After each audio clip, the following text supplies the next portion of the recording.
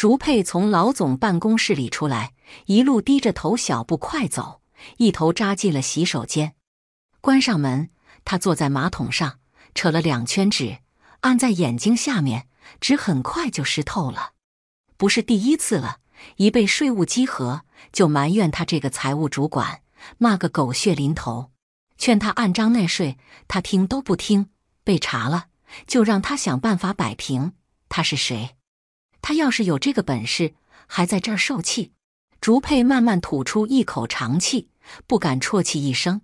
被人听见还不知道会传成什么样。他爬到这位置不容易，不能出什么差错。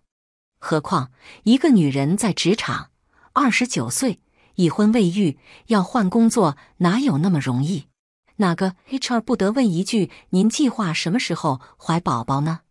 他计划，这要是能由着他，他早就回家生孩子了。可一边买房子时借的首付刚还完。现在还在还贷款，每月得用去他小一半的工资。另一边娘家不给力，自顾还不暇，婆家更不用说了。去年林动他妈做个胆囊摘除手术，他们存的那几万块钱差不多都贴了进去。以前还好，俩人收入都算稳定。可上个月林动突然说要和几个朋友出来自己做。弄了个游戏工作室，能不能赚钱还不好说。他自己倒是信心满满，说让他准备好，明年辞职回家生孩子，再也不用担心钱了，有他呢。其实竹佩没有这么强的信心。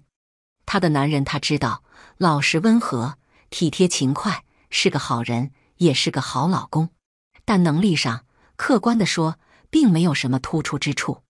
但他说话时，一双眼睛亮亮的，他就心软了，说不出打击他的话，只亲了亲他。大不了赔了，不是还有他吗？不管怎么样，总有他一口稀饭的。竹佩最后想，那时他根本没想过，原来老实人也是会骗人的，而且他骗起人来更防不胜防。下了班，竹佩赶到单位附近小区的菜市场，买了点菜。临近住宅区的菜市和写字楼下面的超市相比，价格要便宜三分之一，而且更新鲜。他提着一小把韭黄，一块牛腱子往地铁站走。半路上，林动打电话说今晚不加班，要过来接他。竹佩算了算，地铁要转车需要六块钱，他过来也算顺路，便答应了。站在路边等了十分钟。他的小骐达就到了，他拉开门坐进去，座位中间放了一杯酸奶。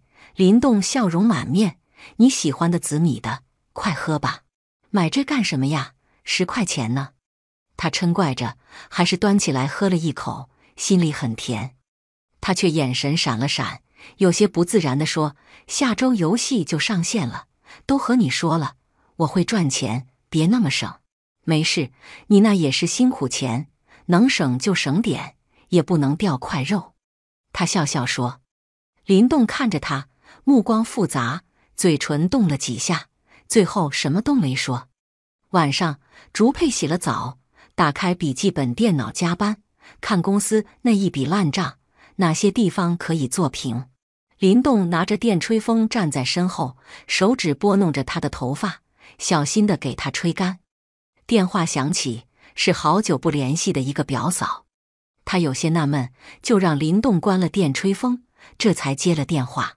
表嫂一阵寒暄，说的他越发摸不着头脑的时候，才委婉表达了意图：家里盖房借钱。这你知道我的情况？竹佩一开口，对方就听出了话音，讪笑着打断了他：“你家的事儿，林动他爸见人就说都吹上天了，你不是还想瞒我吧？”佩佩。你这样可就不对了，都是亲戚。竹佩这回是真搞不明白了。我公公他说什么了？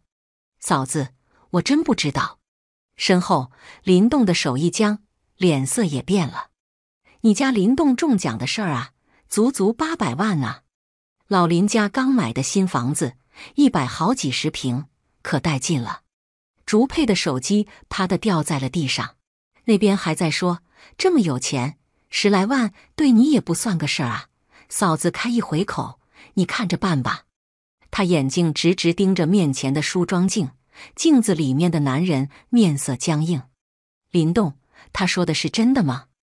竹佩嘴唇张合了几次，才问出口：“佩佩，我，你告诉我，他说的是真的吗？”他的声音猛地尖锐起来。林动突然从后面抱住了他。我想过告诉你的，我真的想过，我就怕你不同意我给他们买房子。你说什么？竹佩手上用力挣，笔记本电脑被他扫到地上，发出清脆的碎裂声。你说什么？他的眼泪掉下来。我跟你在一起快十年了，我是你的妻子。现在你在说什么？竹佩一个人睡在主卧室的大床上。半个小时前，他抱着被子要去次卧。林动拦住他，自己抱着被子，一步三回头的过去了。已经快一个月了，她作为妻子，从别人口中听说自己丈夫中了大奖，她从没有想过林动会骗她，而且这样滴水不漏。当年学校里追她的人不能说多，可也不少。林动并不是里面最出色的一个，他选择林动，就看中了他善良老实。他是能从牙缝里挤出钱帮被车撞伤的流浪狗治伤的爱心男孩，也是会因为卖糖炒栗子的阿姨找多了钱大老远还回去的靠谱男生。竹佩过去和公司里刚毕业的小女生聊天，总是说：“男人爱你固然重要，可他的人品怎么样更重要。人品好的人，即使爱情褪去了，对你也不会差。”今天，他觉得他给了自己一个结结实实的耳光。他认为人品好的丈夫在这么大的事情上欺骗了他，而且在此之前，林动从来没有表现出来不认同他对他父母的态度。坦白说，竹佩对他这对公婆确实不太能看得上。五十几岁的人，自己尚且有劳动能力，儿子刚工作时，不说给点支持。反而开始要求他们来承担上中学的弟弟的学费，这就不说了，反正读书也是正事，承担就承担吧。但林动他爸还喜欢打麻将，以前没钱打个一元两元的，输一点自己还能应付。等林动工作了，就开始打五元、十元的，甚至二十的，输多了就让人家找林动要，搞得他们不胜其烦。而婆婆，除非不打电话，打电话就是你弟弟干嘛干嘛要用钱。今天买手机，明天上补习班。竹佩这个长嫂，好像才是他的妈。这样的事情多了，竹佩难免就要抱怨几句。没想到，这就让他认为他对他父母不好，从而选择了欺骗。离婚吧，这样的念头一出现在他脑海里，眼泪立刻就流了下来。他是认真爱着她的，半夜他还睁着眼睛睡不着。过去那些事放电影一样在他脑子里过，撕扯的他的心没有一处不疼。门突然开了，很轻，然后一个人蹑手蹑脚的走到床边，掀开被子钻进来，抱住了他。他亲着他的脸，小声说：“老婆，我错了，你打我吧。”说着，抓住他的手往自己脸上打。竹佩一动不动，任他抓着，一点反应也没有。他打了几下，轻身来亲她的唇，小心翼翼的，带着点讨好：“你别这样，老婆，我真的知道错了，你理理我好吗？”说着说着，压上来，手摸索着去脱她的睡衣。以前他们总是这样，有点小争执，他就粘上来，撒娇耍赖，卖萌打滚，一场亲热下来。他也就冷不下脸了。他也许以为这次也一样。走开！他冷着声音说：“我不，我想你了。”他胡乱在他脸上、脖子上亲，用自己的身体蹭他。你看，小洞洞也想你了。竹佩心火突起，不知道哪来的力气，猛地一推，身上的人就滚到了地上。他似乎没有想到，半天才爬起来，半蹲在床头。可怜巴巴的叫：“老婆，让我上去吧，好冷的。”竹佩没理他，我都交给你，真的，再不瞒你了，让我上去吧。他还在哀求。次卧有被子，我不，他就这么蹲在那儿，我就在这儿等你原谅我。我不会原谅一个欺骗者。竹佩想起今天老板吐沫星子喷到自己脸上时的隐忍和长久以来的节俭，眼泪又流了下来。他翻了个身，背对着他：“你们才是一家人，我算什么？”林动又掀开被子爬上来，从背后抱住他，两个人贴合的像两只汤勺。老婆，你别这样说，我真的。只是想给他们换个房子。我妈说年纪大了不想爬楼梯。我真的不是有意骗你。你觉得我对他们不好？他没吭声。我是不喜欢他们，我承认。竹佩哽咽着，我怕了他们的贪婪了。总是我爸妈，你将就一点行吗？他把脸贴在他后颈上，轻轻磨蹭。可正当的要求，我哪次没满足他们？林动，我没想到。你这样想我，他继续说，更委屈，哭得颤抖起来。一晚上，林动道了无数次歉，又把卡交给竹佩，交代了每一笔钱的去向。买房子花了一百四十万，给他父母生活费十万，给弟弟报英语课三万，公司投了一百万，剩下的钱都在卡里。他抱着他又亲又求，想到这些年他的好，他到底心软了。离婚的话没说出口，生活好像暂时恢复了正常。周末，竹佩休息，两个人去一个新开的盘看了房子。现在流行面积不大的精装小别墅，算上赠送面积，价格不算高，很多高薪阶层也能承受得起。竹佩倒不是想住别墅，只是那个小院子和屋顶的阳光房都让他爱不释手。最后，林动拍了板。买，趁着现价，过了这个村就没这个店了。两百六十万成交，两人都很满意，高高兴兴手牵手回了家。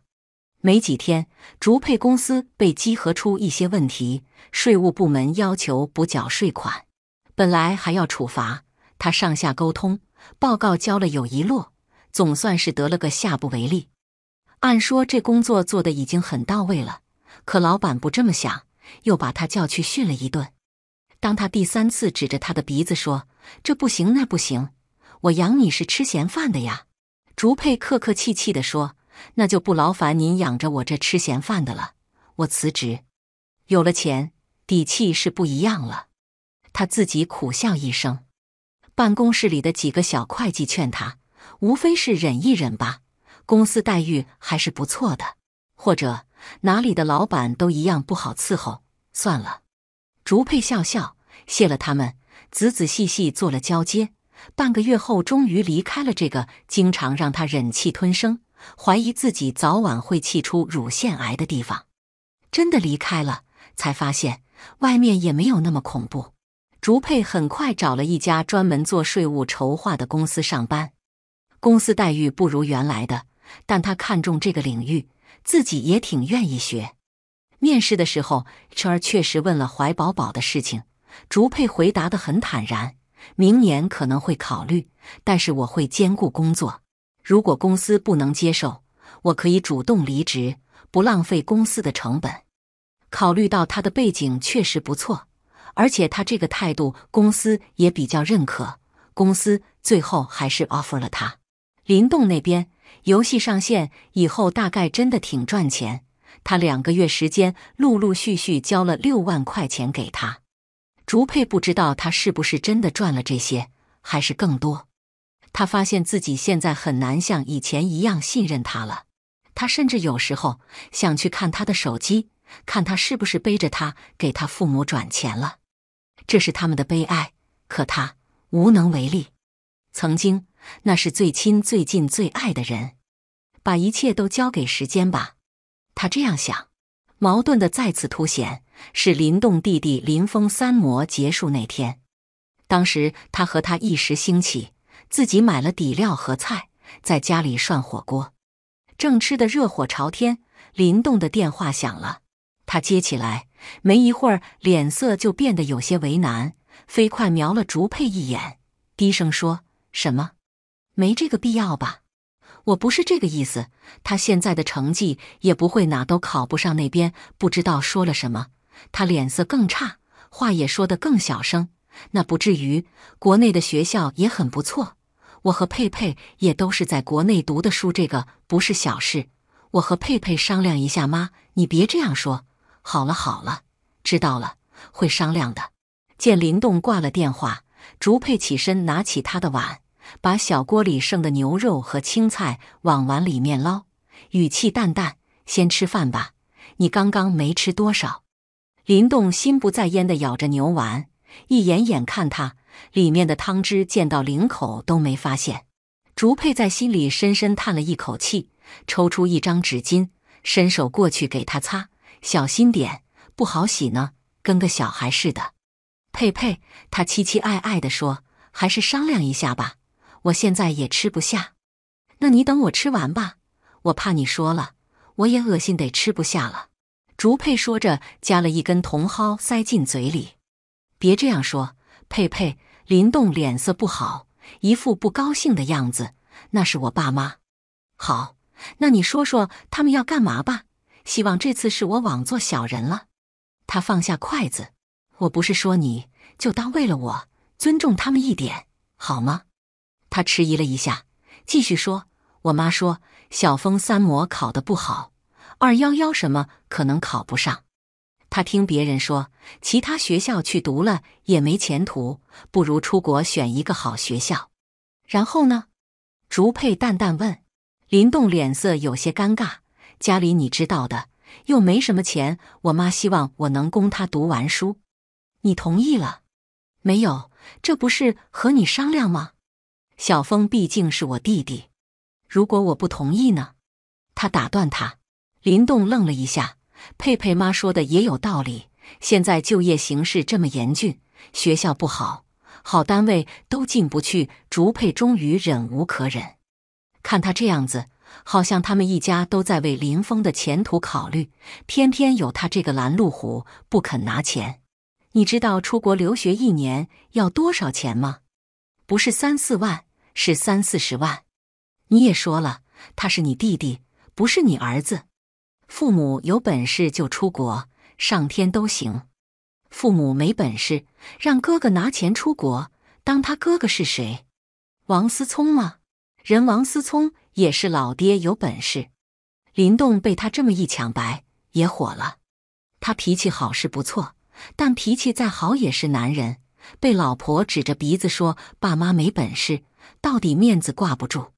竹佩，你这么说我父母干什么？我要是这么说你父母，你愿意吗？他扯着脖子，气得脸通红。我父母怎么了？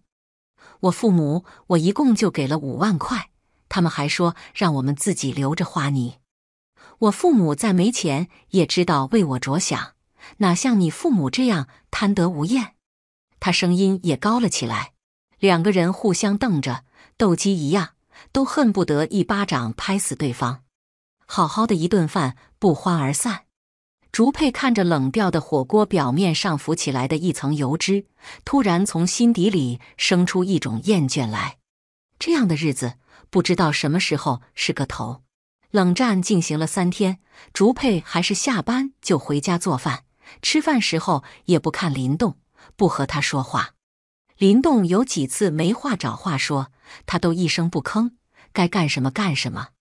晚上，他自己去了次卧住，锁上门，任他在门外小声敲。第三天晚上下了班，林动就等在公司门口。路过的人多，有认识的，有不认识的。竹佩不愿意给人当热闹看，只好任他接过他的包，牵着他的手去停车场。老婆，事情解决了，别气了。他小声说。竹佩不搭腔，真解决了。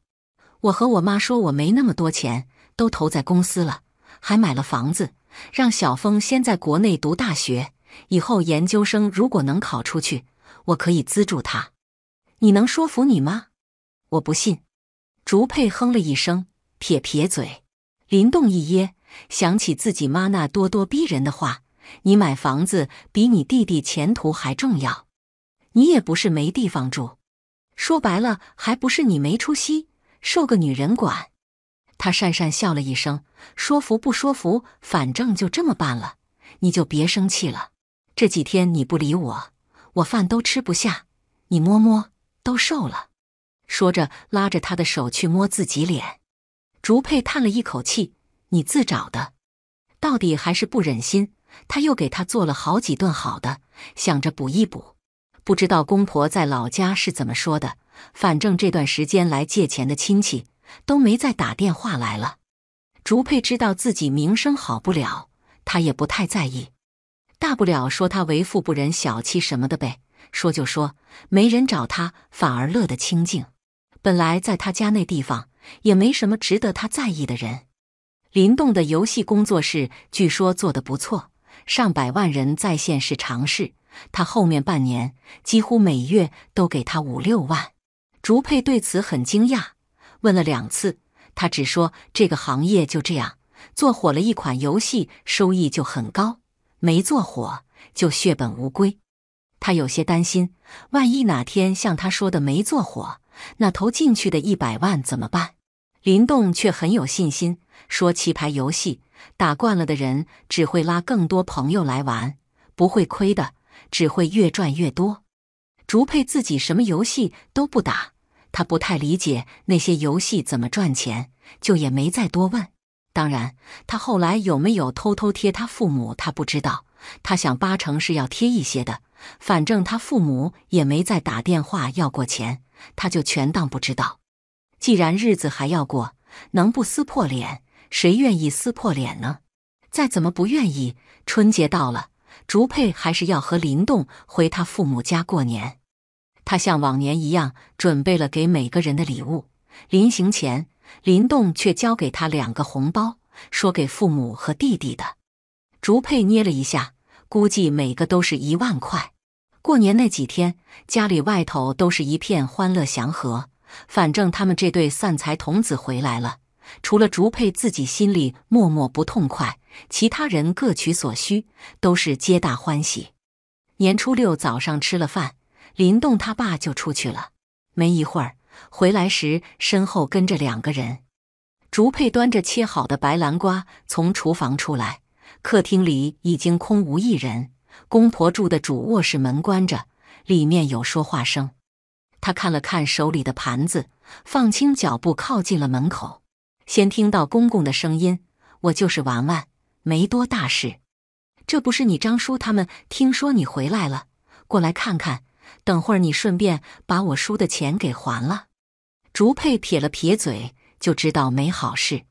屋里林动说：“行，多少钱？四十万。”一个陌生的中年男人的声音。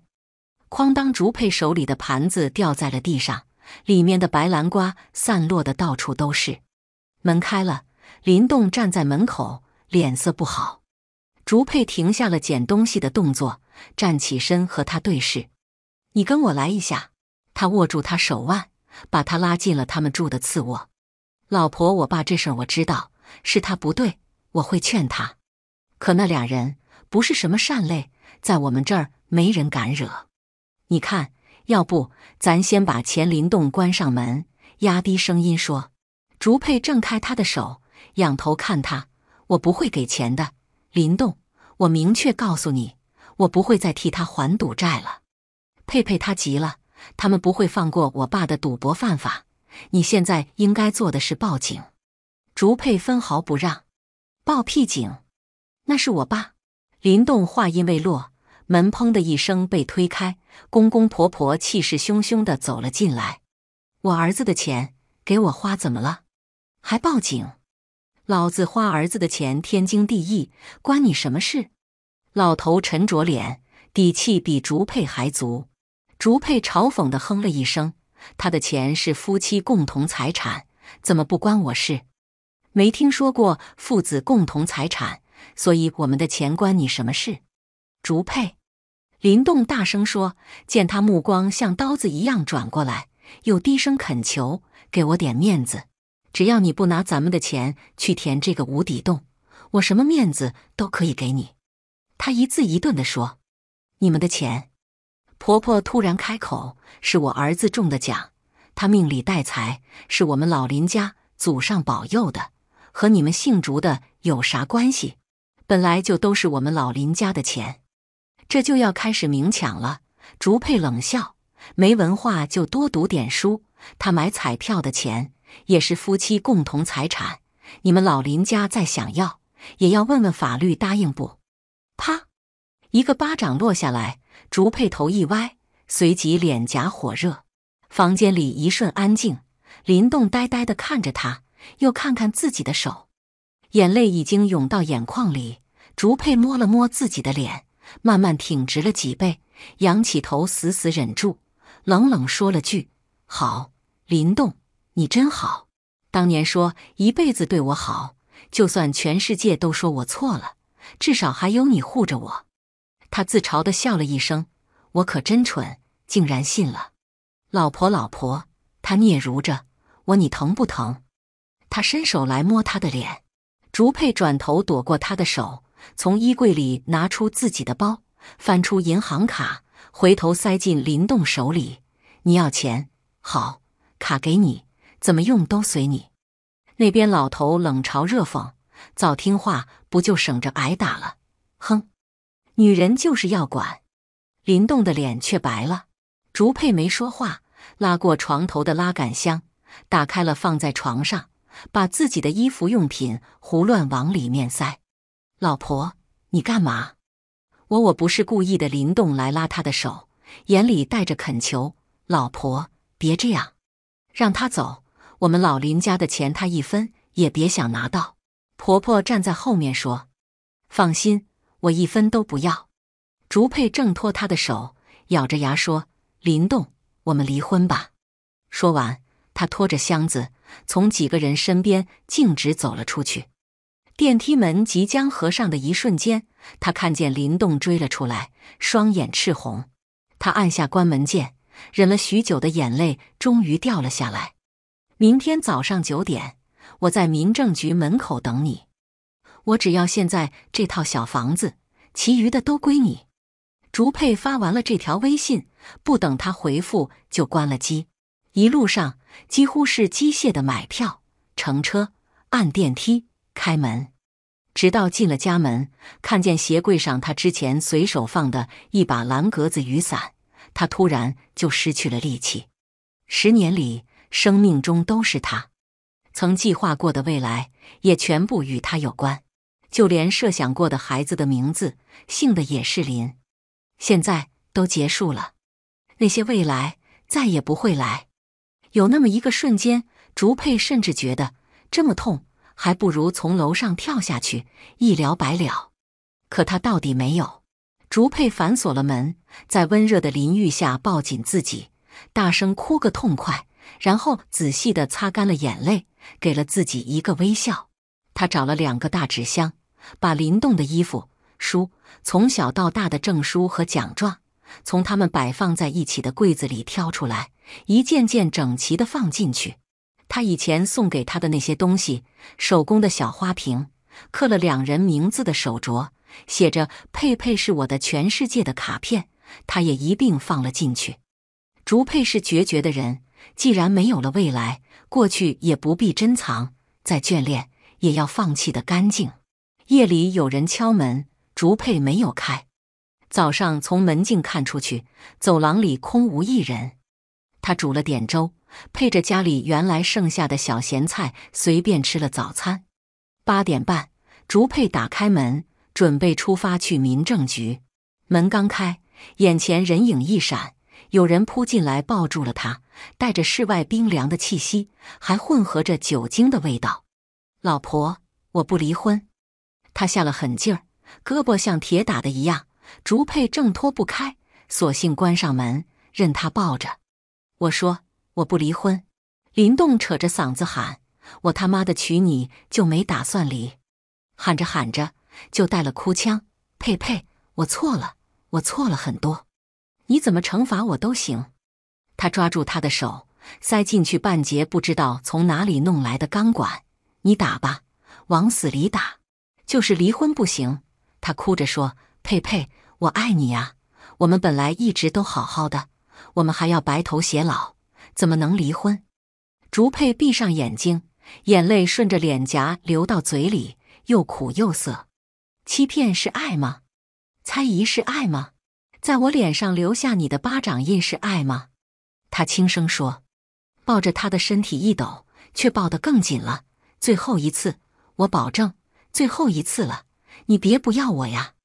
林动还是离开了，带着他的两个大箱子。他不肯离婚，竹佩只有选择先分居。两个人都想清楚，还适合不适合在一起。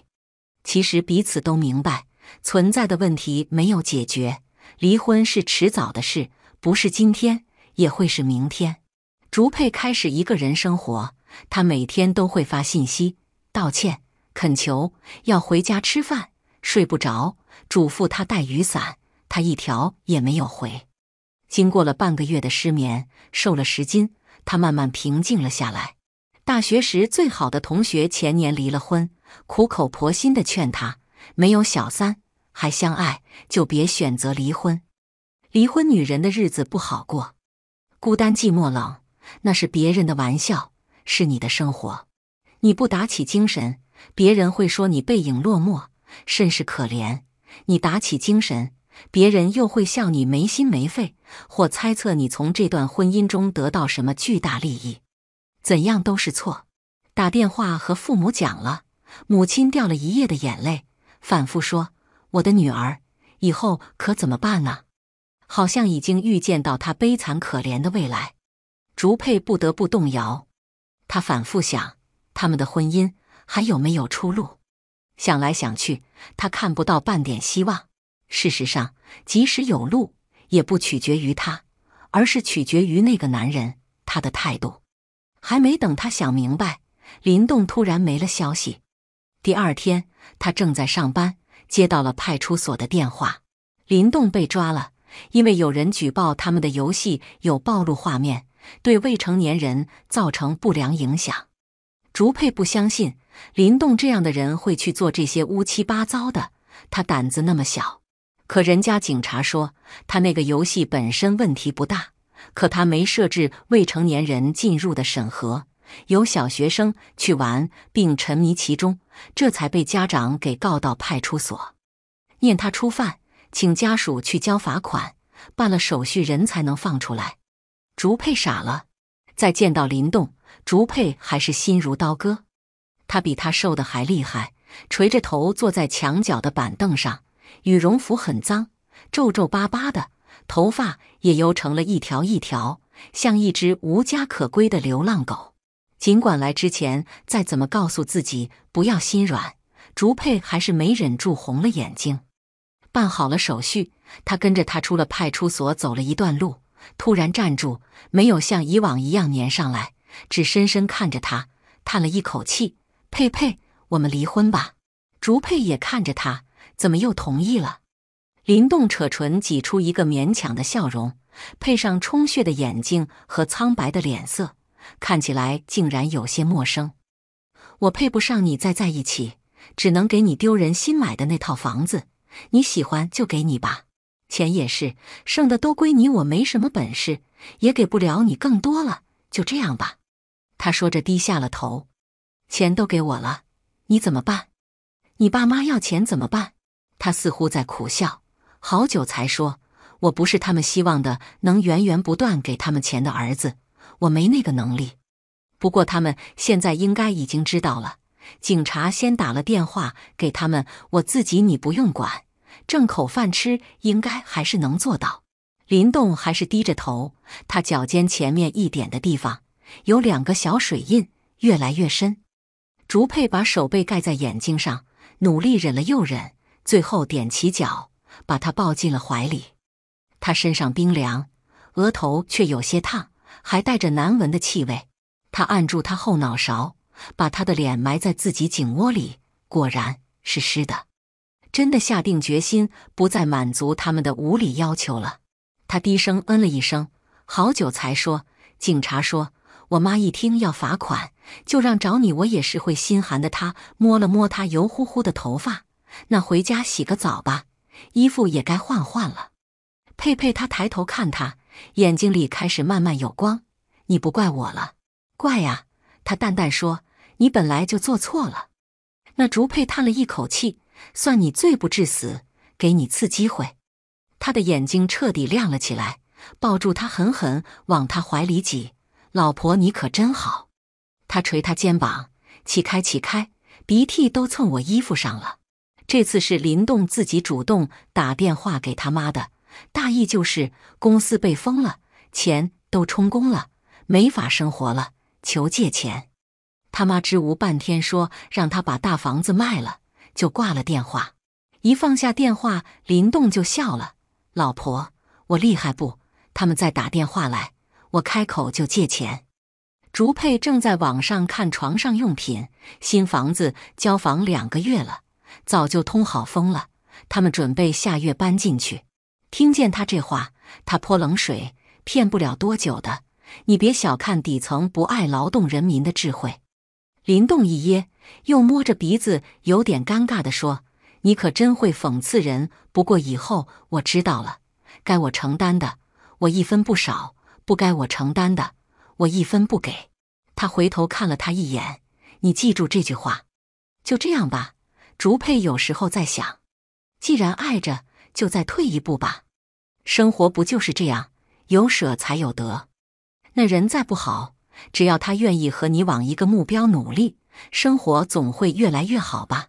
最后，竹佩动了动鼠标，把一套孕期防辐射服放进了购物车里。明年。还是很值得期待的。完结第二篇，相亲遇到自家老板，我一个激动，在他面前孕吐了。奉子成婚，老板看着我手里的孕检单，勾唇轻笑：“好啊，我们什么时候领证？”老老板，你听我解释。我手忙脚乱地抓回孕检单，颤抖指向那串二五零杠二五零杠二五零的社保号。老板。这一看就是假的社保号，这张孕检单是假的。我不否认有讽刺相亲的嫌疑，今天也是来推这恼人的相亲的。但身为五好社畜，公司蝉联三年优秀员工，我绝对不会装怀孕请孕假，更没有骂老板二百五十让您当接盘侠的意思。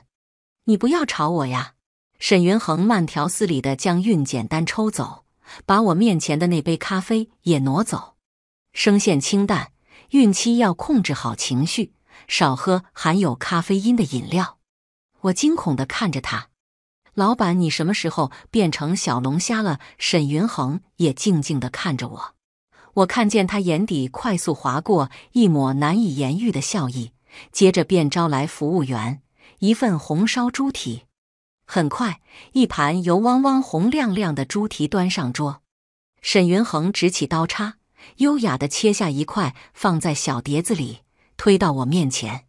我受宠若惊，可怎么能麻烦老板您亲自？话没说完，猪蹄那曼妙的油香瞬间涌入我的鼻腔，下一秒，我的胃里霎时一阵翻江倒海，我禁不住侧过身，弯腰哇的吐了一地。怎么回事？红烧猪蹄明明是我最爱吃的没有之一，而且我一个多月没吃，应该要很馋很想吃的，为什么突然觉得好油好恶心？胡思乱想间，我白眼一翻，又吐了一滩，但也很快被一双有力的臂膀抱起。沈云恒在周围惊异的目光中抱着我走出餐厅，又在门前顿了一下，淡声侧手：“抱歉，我妻子是孕吐。”不是食物中毒，大家不要误会。那就好。服务生与顾客们纷纷松了口气。我强忍住再次吐出来的冲动，攥紧他规整的领带结，死死瞪着他。沈云婷低下头看我，唇角淡勾。不然，想让店家觉得你在碰瓷？不，我狠狠咬着牙，一字一顿从牙缝间磨出那份猪蹄，可不可以打包带走？怎么可以浪费那么完美的猪蹄？我又没有怀孕，我我只是最近一阵子犯了肠胃炎，确实不怎么舒服。反正挂个水就可以。恭喜啊，太太，您怀孕六周了。妇产科大夫一份真正的孕检报告放在我面前，给我来了一个五雷轰顶。我按着小心脏，惊慌失措的脱口：“谁谁的？”啊！妇产科大夫震惊一脸。瞬间用极其同情的目光望向我身后的沈云恒。抱歉，大夫，我太太是头胎，她是太紧张了。沈云恒轻握着我的双肩，笑得无比温柔，和会议室里那张教训下属的冷脸天差地别。大夫这才失笑：“没事没事，头胎紧张是正常的。你身为丈夫，记得要多关心体贴她，有助于缓解孕期的焦虑抑郁。”我会的，多谢大夫。沈云恒小心翼翼地将我扶起，搂在怀里。老婆，我们回家休息。哦，我下意识顺着他应了声，下一秒迅速回过神来。哦，什么？我明明只是来推一单烦人的相亲，想到自家老板就算了，怎么会弄假成真，真的怀孕了呀？还被沈云恒老婆老婆各种占便宜，走出诊室。我立马从他怀里跳出来，东张西望寻找计生科室。沈云恒看出了我的意图，脸色骤沉，霸道的将我又拉回怀里。我不许，什么你许不许的？又不是你。我无奈的摇头，却又猛然顿住，脑海里迅速浮现出个把月前，我和沈云恒阴差阳错一同运动的那个夜晚就大命。写小说都没有那么准的吧？我再度攥紧沈云恒的领结，尝试说服他：“老板，你应该也不愿意人生、事业、未来什么的就这样被影响吧？对吧？而且相亲是建立在零感情基础上的。众所周知，相亲的婚姻最终都是搭伙过日子。我疯狂掰扯着各种大道理，怎料沈云恒根本油盐不进，直接弯腰将我横抱起，走出妇产科。来到他那辆扎眼的阿斯顿马丁 One 七七前，你要回家还是回我家？身为总裁秘书，这个副驾我坐过无数次，但被老板亲自系安全带，还是破天荒头一遭。我看着那近在眼前、勾死人不偿命的完美俊颜，忍不住咽了咽口水。沈云恒笑了笑，拉安全带的动作陡然变慢，半悬停在我身前。想亲就亲吧，你上一次可都没犹豫。我赶紧别过脸去装死。上一次是喝多了，喝多了怎么能算数？沈云恒还是将我送回了我家，并贴心的给我批了一周假期。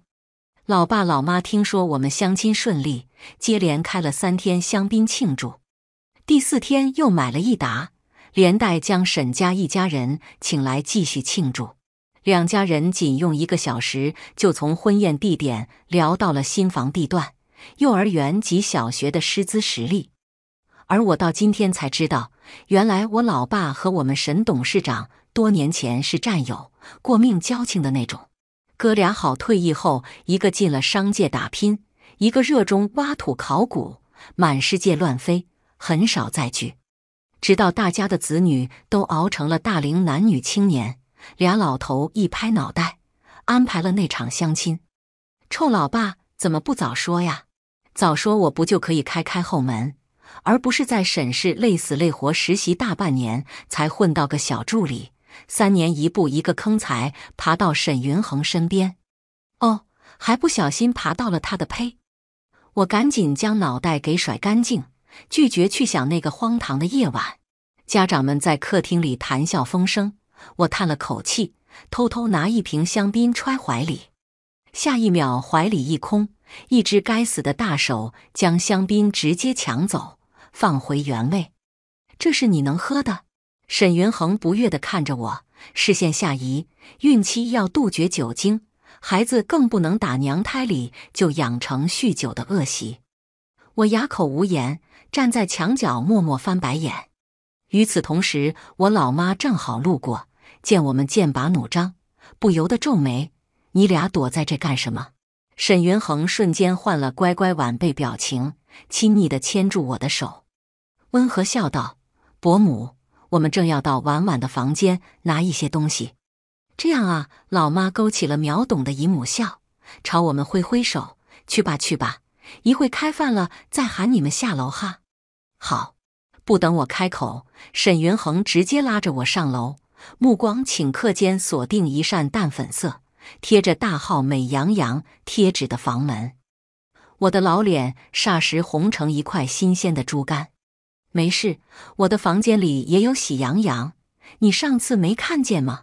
沈云恒轻笑一声，将我带到房门前，偏头示意我。我心里叹了口气，默默打开房门，将他推进去。沈云恒背着双手，像参观他刚竞标成功的一块地皮一般参观我的卧室，看得我怪不好意思的。老板，我房间没什么好看的，说了多少次，不要再叫我老板，叫我名字。他偏头望向我，唇角淡淡勾勒。当然，你想叫孩子他爸也可以。老板，老人家们不懂事，瞎决定就算了，你可不要太过分了。我暗暗捏紧了拳头，下一秒却见他的视线落在我的书桌上。此时，书桌上正摆着一封醒目的大红色喜帖。我愣了愣，猛然想起什么，拔腿就冲过去。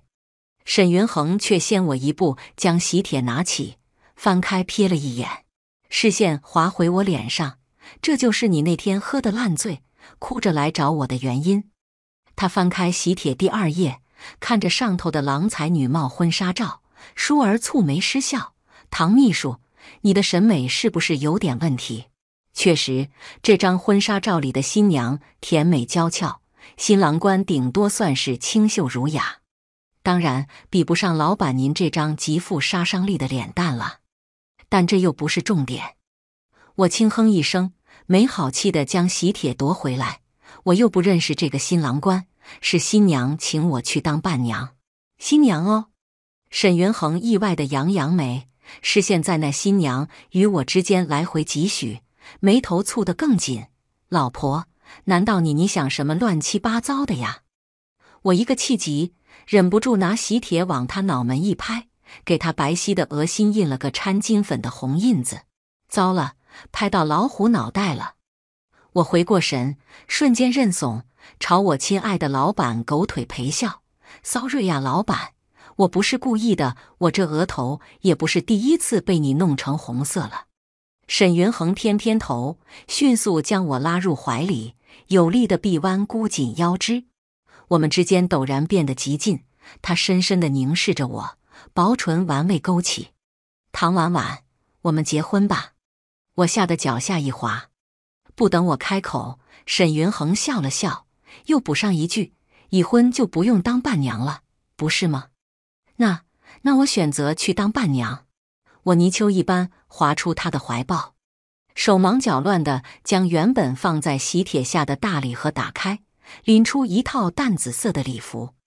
你看，伴娘服都给我量身定做送过来了。话落，我看着那套优雅修身款的半露背礼裙，默默的皱起眉头。沈云恒看着我，忽而踱步走来，将那套礼服抽走，扔到一边。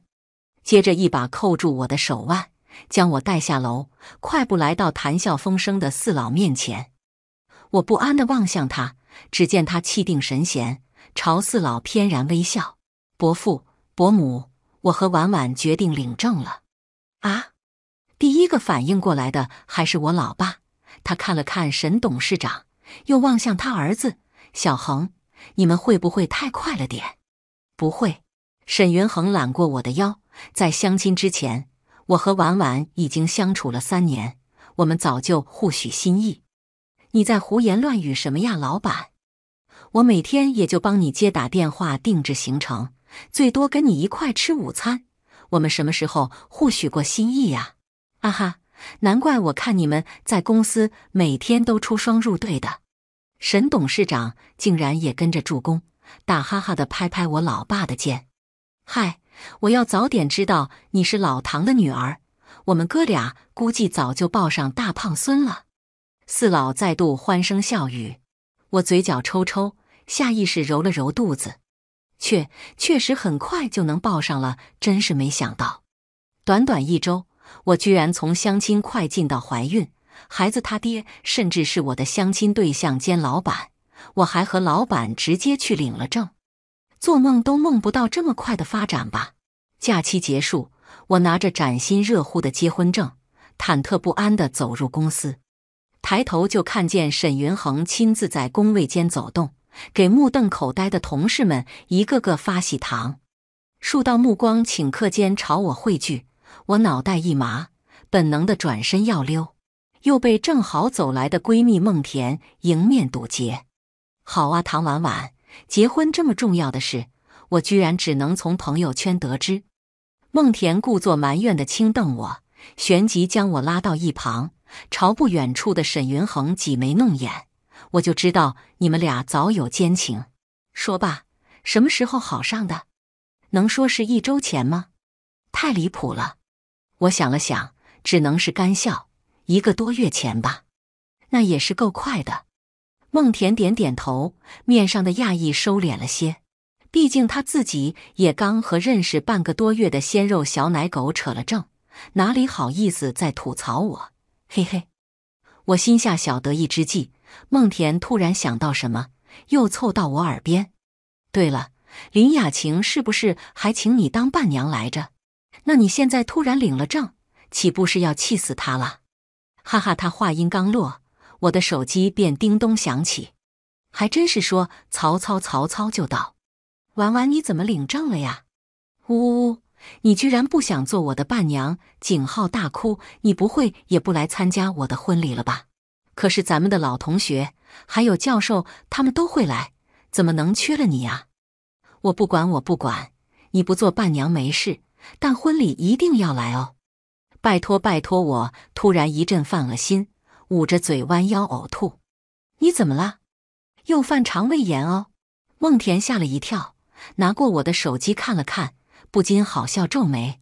好吧，确实是看的人有点想吐了。这真是个美丽的误会。我无奈的看着他，又吐了一会。下一秒，双肩突然被一双大手微微握紧，我被沈云恒迅速揽入怀里。喜糖，他淡然勾唇，用一袋喜糖将我的手机从孟田手里换回来。接着便弯腰将我抱起，在一片瞩目中走向总裁办公室。孟田在身后忍笑大喊：“沈总，什么时候摆喜酒啊？在挑选场地了。”沈云恒回首轻笑，将磨砂玻璃门关上锁好。我举着塑料袋在沈云恒怀里大吐特吐，担心弄脏他的高定西装。期间，我不止一次想从他怀里溜走。却又频频被他捞回去，反而被拥得更紧。我不介意你吐我身上，他轻揉着我的后脑勺，语气说不出的温柔。生孩子是夫妻二人共同的责任，我怎能不分担老婆的痛苦？说的我更想吐了，哇啦又吐了一波。我终于脱力，倒在他胸前。好在这个男人怀里有一股特别清冽的草木冷香。竟神奇的让我舒缓了不少。我开始贪恋这股令人宁静的香气，下意识往他的怀里缩缩，抬手轻蹭他的脖颈。昏昏欲睡之际，沈云恒低手凑到我的耳边，声线暗哑：“不想去就不去，还是要去的。”我懒洋洋的将呕吐袋扎好，扔进垃圾桶，抬眼望向那张俊美无愁的脸，笑了笑。我和林雅晴从小争到大，我可从没想过要让着她。好，不让着她。沈云恒不知从哪儿又掏出那张喜帖，展开抖了抖。虽然我们结婚比他晚一些，但你老公确实比他老公帅多了。老板，你由得我又想吐了呀！我悲催的捂住再度翻江倒海的胃，忽见沈云恒放开了我，转身抱来一只礼盒，轻轻打开。那就穿这一套去参加婚礼吧。我愕然低眸，礼盒里盛着一套中袖真丝旗袍，精美绝伦的苏绣点缀其间，金贵优雅。我惊艳无嘴。老板，你怎么知道我喜欢旗袍？这不重要。沈云恒取出旗袍，视线移向办公室一侧的更衣室小门，忽而勾唇去试试看。我迷迷糊糊的被他送进更衣室。抱着旗袍发了好一会儿呆，不过有一说一，这料子确实舒适的令人爱不释手。我深呼吸一口气，默默开始换衣服。旗袍尺寸恰到好处，显然是为我量身定制。可恶，他什么时候知道我的尺寸的？我红着脸骂骂咧咧，将旗袍穿好，全身镜中温柔婉约的旗袍美人，窈窕玉立。我望着镜子，微微出神。上一次穿旗袍，似乎已经是三年前的事了。那我好像也没有那么喜欢旗袍吧？身后门扉被轻轻扣响，换好了吗？我下意识轻应着，很快门被推开，那股清冽的草木响起，朝我袭来。沈云恒从背后环住我的腰肢，与我一块看着镜中的自己。他倏而微笑，清澈真诚的眼眸里满是惊艳赞赏，丝毫不加掩饰。我老婆真好看。我颤了颤，接着被他轻轻扳过身，挑起下颌，本能的闪躲了下，腰肢却被箍得更为紧贴。我被他霸道的摁在衣柜上，紧张什么？又不是第一次。他低哑呵笑，轻手吻住我的唇，摩挲缱绻。就在此时，办公室外传来了敲门声。沈总，华悦天地的合作商代表来了，可以开始会议了吗？这是很重要的项目会议。我一个紧张，将沈云恒推开。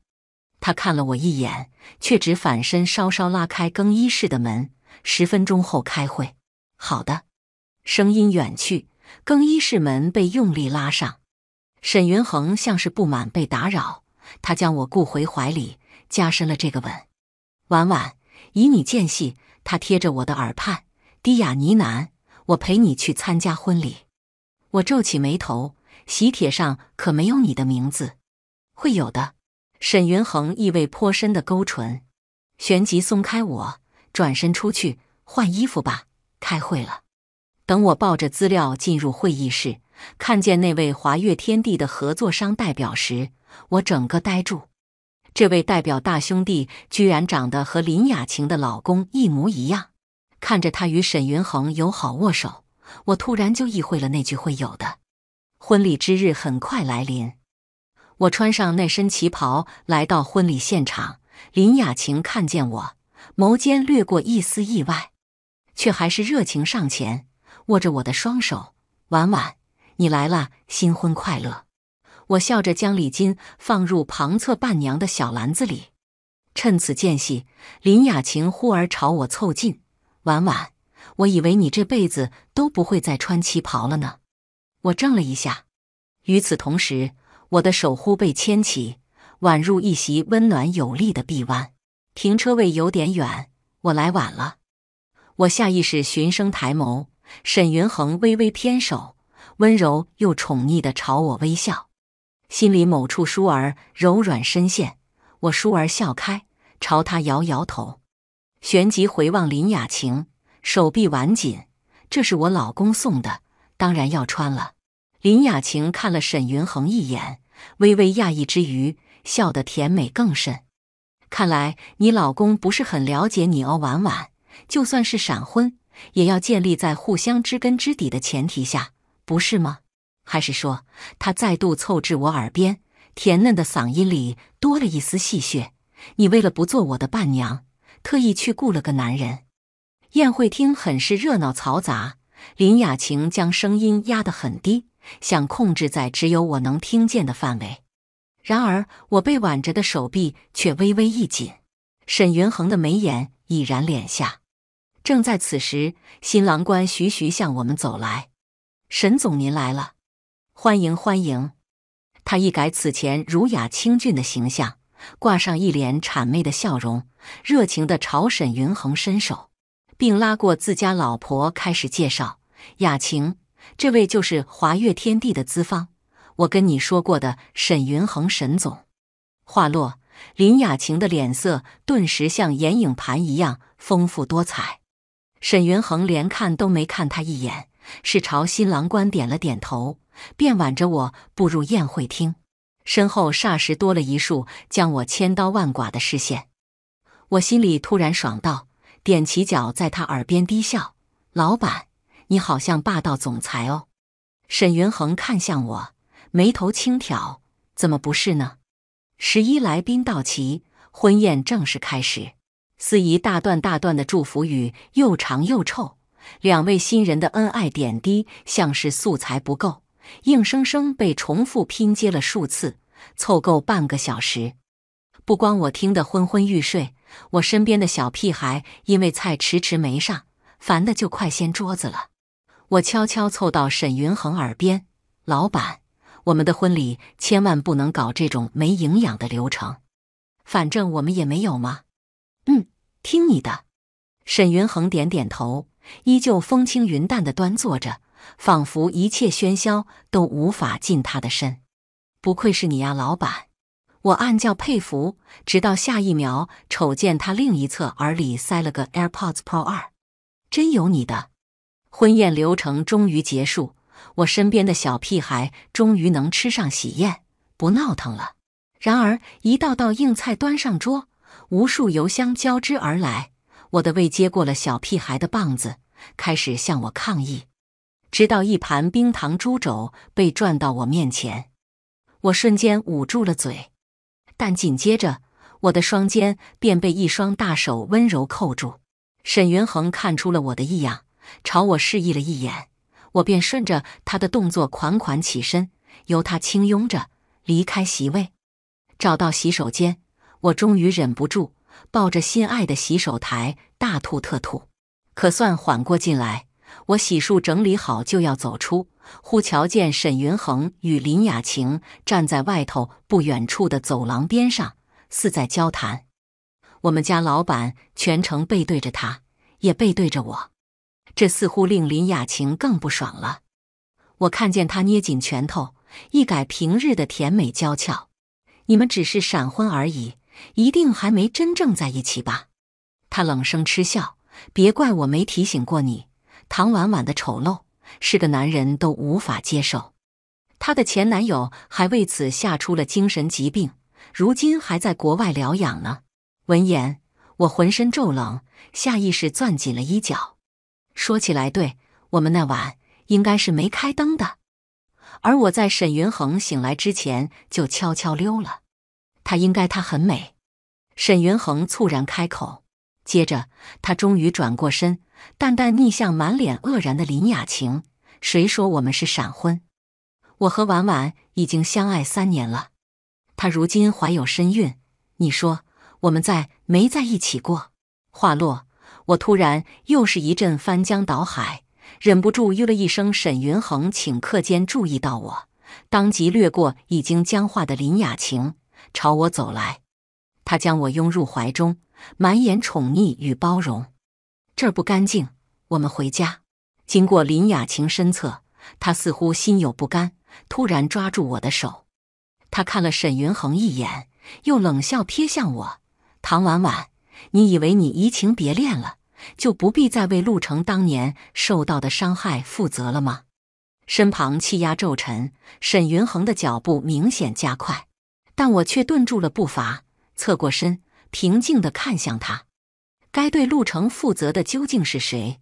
我想你应该比谁都更清楚。还有，陆程几个月前就已经康复，何来还在国外疗养一说？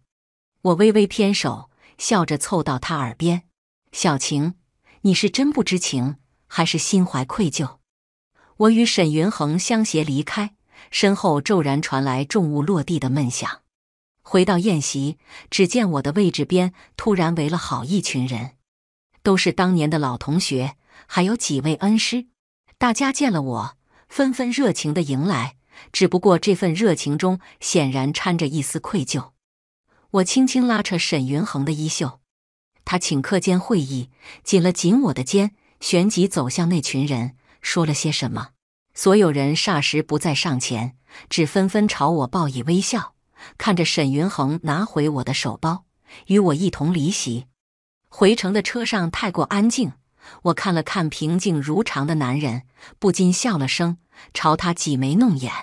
老板今天吃了不少我的瓜哦。沈云恒好笑了下，空出手揉了揉我的脑袋，依旧不语。我微微皱眉：“你都不问问陆程是谁的吗？”沈云恒扬眉：“我载着孕妇，要专心驾驶。”我。十三，沈云恒非常专心的将我载回了他的别墅。想起上一回到这儿来，我似乎还坐在他家门口发了好一会儿酒疯，我突然有点尴尬，下意识攥紧安全带。老板，我我想回我家。你是我老婆，这里不也是你家吗？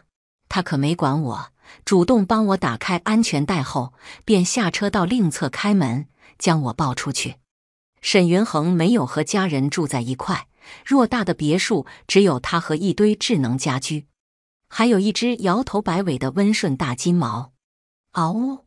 大金毛原本开开心心的来迎接它的主人，下一秒看见我，却瞬间刹住脚步，一脸懵逼的盯着我。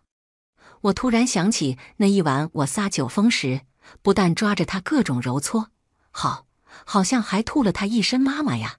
我撒起酒疯来，好像很人嫌狗厌呐！我羞愤，我捂住脸。耳边传来沈云恒的低笑，他将我抱到沙发上，旋即朝大金毛招手，语调温柔：“毛毛，过来。”汪呜，毛毛应了两声，步伐小心翼翼地朝我靠近。沈云恒在此时轻轻抚住我的小腹，毛毛看了看他，又往前两步，在我肚子前嗅了嗅，紧接着他竟像是感应到了什么，又嘤嘤两声。鼻头在我的肚子上轻轻蹭着，大尾巴摇得越发欢畅。你瞧，毛毛已经知道我们有宝宝了。沈云恒抬起另一只手扶过我的脑袋，在我额头上落下轻轻一吻，无边的暖意霎时自心间涟漪泛开。我鼻尖一酸，眼泪滴到他的手背上。沈云恒笑而不语，低手将我的泪花吻去。我和毛毛冰释前嫌。玩了一下午，入夜，我看着在厨房里忙活的男人，掰扯着手指，犹豫着今晚要不要回家。就在此时，一个跑腿小哥敲开了沈云恒家大门，送来了一大包我的衣服和洗漱用品。老爸老妈狡猾的笑脸霎时具象化在我眼前。不愧是你们呐！饭后，我站在沈云恒浴室里，对着那面巨大的半身镜发呆。良久，我深深呼吸着，将旗袍盘扣解开，闭着眼走入淋浴室。温热的水花倾洒在后背，脑海里突然多了一些破碎的画面。那一晚，我烂醉如泥，似乎是沈云恒将我抱进浴室的。我倏地睁眸，下意识的反手按住后脊骨的位置。那只鲜少被碰触的恶魔，仿佛感应到了我。一点一点地将我的指尖啃噬，下一秒却又化作温柔绵延的吻，细密地包容着我的每一寸肌肤。我拎着旗袍走出浴室，沈云恒已经在另一间房也洗漱沐浴好，穿着真丝睡袍坐在床头，安静地翻阅着一本原文书籍。我的脚步愈发缓慢踌躇，他听见了，笑了笑，合上书本朝我望来，老婆。上一次你可是很主动的，他摇头起身，将旗袍接过，拿出衣架挂好，接着迅速弯腰将我横抱起，送入被褥。我一惊，下意识的捂住小腹，警告的盯着他：“老板，你你不能欺负我的宝宝哦。”他撑身俯视着我，却猝然失笑：“我是那种渣爹吗？还有，说了多少遍了，不要再叫我老板。”话落，沈云恒缓缓轻手吻住我的唇，以你思魔间，他低哑着磁性十足的嗓音，一遍又一遍的哄求：“乖，叫老公。”我忽然感觉我的心像是变成了一颗隔水中里的巧克力，就快被他哄化了。老老公，我恍惚着唤出声。沈云恒的吻僵滞了一瞬，接着我听见他轻笑一声，捉过我的手。食指紧紧交扣，摁在他坚实的胸口，感受那有力搏动的心跳。他眼尾绯红，郑重的凝视着我。唐婉婉，我爱你。我对林雅晴说的都是真的。这三年的每一分每一秒，我都在爱你。啊！我大脑宕机三秒，接着紧皱眉头。你明明以老板的名义压榨了我三年。沈云恒微微睁大双眸。下一秒，扑哧一笑：“我什么时候压榨过你？你我脑子一热，就要列出他的各种罪宗。可回想这三年，似乎每次加班陪我到最后一秒的，永远都是他。工作上出现纰漏，他除了指出错误让我改正，也从未苛责我，工资都没扣过我一分。每一次应酬，他的西装永远都系在我的腰间。可是这也不能算是爱吧？想起我们那两本稀里糊涂领的结婚证，我心里莫名有些堵，不禁瘪着嘴低低控诉：“你说你爱我，你又没告诉过我，我怎么知道啊？”我越想越郁闷。你没追过我，也没给我送过花，我们结婚也没有求婚，没有钻戒，更没有蜜月旅行。我话未落，耳边窸窣响动，一束热烈的红玫瑰突然现于我眼前，玫瑰间拥簇着一只酒红色灯芯绒的小盒子，在勾引着我打开它。我忍住伸手的冲动，没好气的瞪他：“你这是马后炮？”那我问你，沈云恒将我抱起。与他面对面坐着，他看着我的眼睛，一字一顿：“如果我三年前追求你，你会接受我吗？”我张了张嘴，突然说不出话来。正在此时，旁侧手机叮咚响起，许久未联系的名字出现在推送栏中。路程，我回 A 城了，刚下的飞机。明天有时间吗？我们一起喝杯咖啡吧。十五，空气突然有些凝固。沈云恒看了我一眼，突然起身，但紧接着又转到我身后，伸出双臂从背后抱着我，双手握着我捏紧手机的手。他没有说话，只引导着我解锁手机，打开陆程的聊天界面，拇指轻敲，输入一个个字：“抱歉，我老婆已经睡了。”我眼睁睁看着他直接发送，下一秒手机被扔开，他抱着我倒入被窝，十指紧扣。你白天不是要我问陆程是谁吗？沈云恒将脑袋埋入我的肩窝，语调低哑，隐隐带着一丝吃味感。我现在问了，我被他难得的小脾气给逗乐，眨了眨眼。陆程是我的大学学长啊。沈云恒显然不信，臂弯更紧。就这样，确实也差一点不止这样。我转过身，捧起那微微不悦的俊脸，眉头轻扬。他还没来得及跟我告白，就被我吓疯了。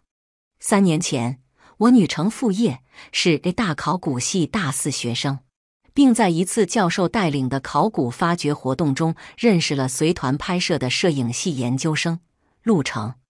陆成清俊温和。风度翩翩，是 A 大的风云人物。追他的女生能绕大好几个圈，其中就包括我的冤虫发小，表演系在读的林雅晴。陆程加入我们考古小队后，我俩的接触便越发频繁，他看我的眼神也越来越特别。直到校庆晚会前夕，林雅晴的舞台剧团队临时缺人，在他的软磨硬泡下。我只好过去顶了一个路人甲角色。正式演出那晚，我在后台更换舞台剧的背拉链式旗袍戏服。就是这么凑巧，陆程在此时无故开门走入了更衣室。我习惯性的关灯换衣，令更衣室光线昏暗。他则在此时看见了我后背盘踞着的那只魔鬼。陆程就这样疯了。听完我的回忆，沈云恒眉宇微蹙。似是不解，我耸了耸肩，倏儿坐起身，背对着他，深吸一口气，睡裙丝带骤落，将背后的盛景展示给他。我背后的魔鬼是一块覆满大半背部的大面积烧伤疤痕，斑驳的印记描绘成一张扭曲可怖的面孔，仿佛地狱深渊走来的恶鬼，骇人至极。这一刻，屋内的一切变得无比静寂。果然，连沈云恒都沉默了。我心下失笑，也耐不住背脊的寒凉，抽起丝带。就在此时，一双有力的臂膀突然将我拥住，温热的吐息细密地散落在魔鬼盘踞的位置。紧接着，他被一抹微妙的柔软轻轻碰触，种下一个又一个温暖的吻。沈云恒，他在亲吻魔鬼。我被他的举动震慑。下意识的轻怔，却被他迅速转过身，扣着我的后脑勺，辗转缱绻。婉婉，我说过你很美。旖旎间，沈云恒哑声低笑着，满眼宠溺与包容。他不是魔鬼，他是这世间最美的艺术品。我不是第一次对他顶礼膜拜。他说的很认真，认真的令我霎时回想起那个疯狂的夜晚，脸颊不争气的便淌时，什么顶礼膜拜呀？你这个人的审美真是有大问题。只要是我所珍视，并下定决心疼爱呵护一辈子的，在我心里就是最美的。而且听完你的故事，我竟开心极了。沈云恒笑了笑，得令人目眩神迷。他温柔地将我揽回怀里，长长舒了一口气。我亲爱的老婆心里并没有别人，那这个位置我要定了。好了，收回你的甜言蜜语。我无语的抬手在他面前晃了晃，坐直起身，认真问他：“说实话，你觉得我的后背真的有下疯人的潜力吗？难度很大。”沈云恒双眸轻晃，突然笑得意味深长。但是今天看见你发小的父母以及他的公公婆婆后，似乎又不是很难了。